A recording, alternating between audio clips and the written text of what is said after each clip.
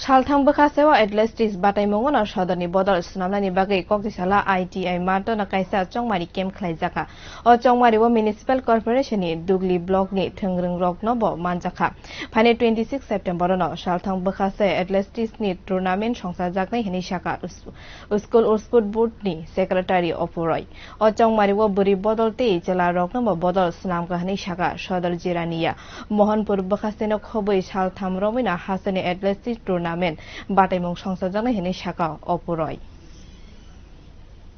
আজকে Sadar sub division level athletics competition two এই উপলক্ষে সদরের দল গঠন করা হবে আগামী ২৬ September two Sadar sub division Mohanpur sub division এবং জিরানিয়া সাব ডিভিশন দু তিনটে সাব ডিভিশনকে নিয়ে আগামী ছাব্বিশে সেপ্টেম্বর আমরা district, west district level athletic competition করব।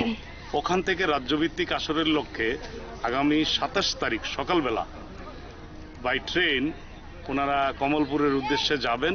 সাতাইশ, আঠাইশ, উনত্রিশ, তিন দিন ব্যাপী রাজ্যভিত্তিক অ্যাথলেটিক স্টেট লেভেল কম্পিটিশন শুরু হবে ধলাই জেলাতে। তো এখানে আজকে মূলত Sadar sub division level boys and girls athletic competition হচ্ছে।